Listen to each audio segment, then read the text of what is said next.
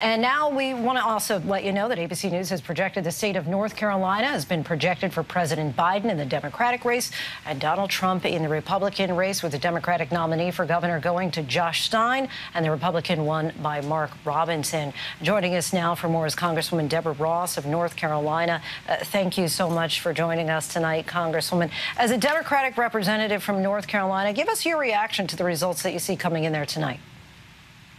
Well, none of the results um, surprised me.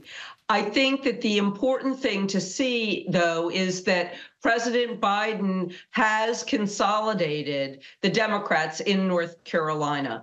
There are fewer defectors than um, President Trump has, or former President Trump. As a matter of fact, Nikki Haley had a huge rally in my district over the weekend, and she did even better in Wake County than she did statewide. Same thing with Josh Stein. He has consolidated the vast majority of the Democratic voters, and while Mark Robinson did win, the Republicans are more split. I think that this bodes well for the Democrats in November.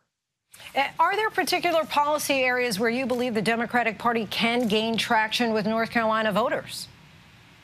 Well, the economy is the number one issue.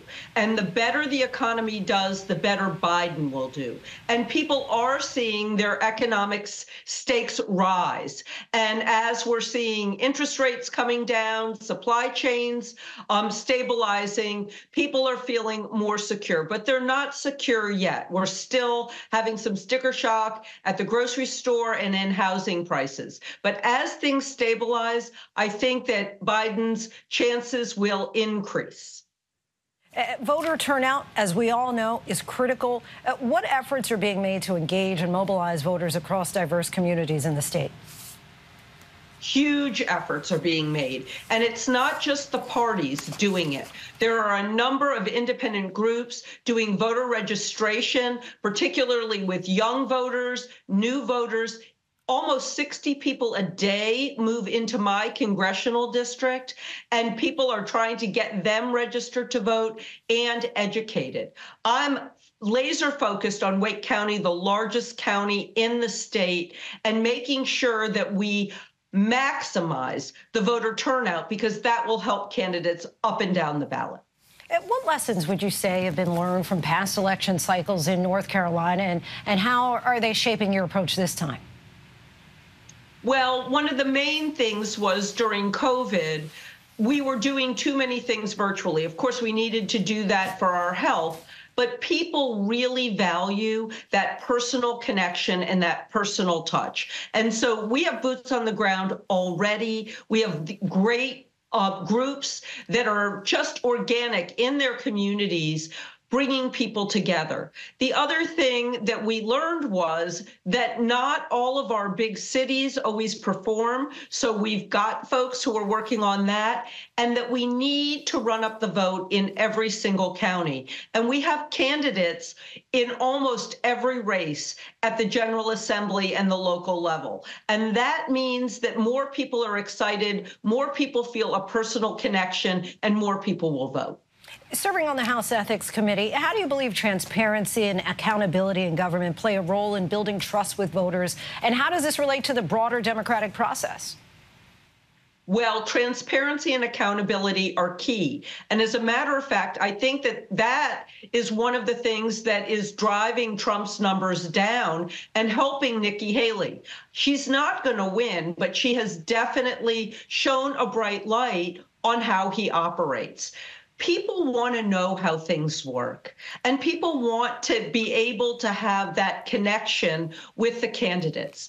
And so the more we show people how things work, help them get registered to vote, get to the polls, and show up in their communities, the more likely it is that they'll be engaged.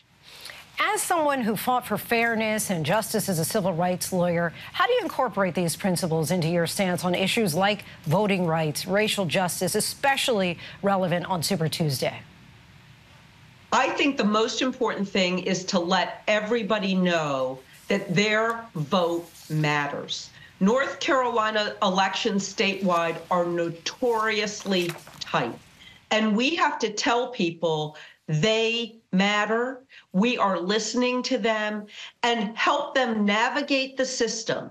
The legislature, which is Republican controlled, has put a lot of roadblocks in the way, making it hard. We have voter ID for the first time.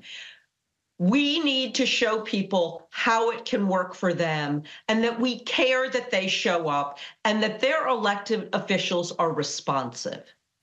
Congresswoman Deborah Ross of North Carolina, we so appreciate you joining us tonight. Thank you. It's my pleasure. Hi, everyone. George Stephanopoulos here. Thanks for checking out the ABC News YouTube channel. If you'd like to get more videos, show highlights, and watch live event coverage, click on the right over here to subscribe to our channel. And don't forget to download the ABC News app for breaking news alerts. Thanks for watching.